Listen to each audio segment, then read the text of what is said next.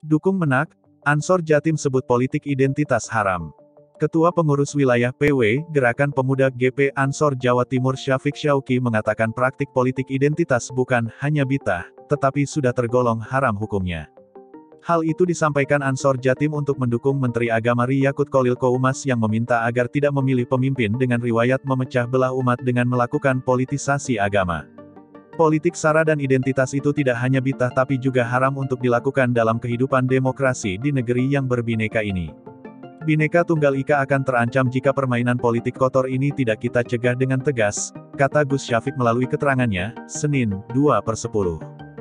Gus Syafiq menjelaskan bahwa pesan Yakut tersebut adalah sikap yang lahir dari basis ideologi kebangsaan yang kuat untuk menjaga dan memelihara nilai kebangsaan agar tetap kokoh dan lestari. Pesan Gus Yakut harus kita dudukkan pada semangat kolektif anak bangsa untuk tidak terjebak dan bermain dalam politik identitas bernuansa sara yang sudah menjadi kajian akademik sebagai salah satu bagian perusak sendi-sendi kebangsaan kita, ucapnya. Gus Syafiq meminta kepada semua pihak untuk tidak mudah terbawa perasaan baper dalam merespons pesan Yakut, yang disebutnya sebagai pesan moral kebangsaan seorang Menteri Agamari. Selain itu, dia juga meminta seluruh barisan Ansor Jawa Timur untuk menolak praktik politik identitas di pemilu 2024. Agama, kata dia, tidak boleh dipolitisasi. Garis perlawanan ini senada dengan gerakan bersama seluruh komponen bangsa termasuk seluruh partai politik yang semuanya berkomitmen untuk menolak politik identitas.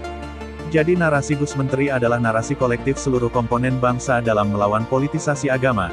Kita backup penuh, lanjutnya.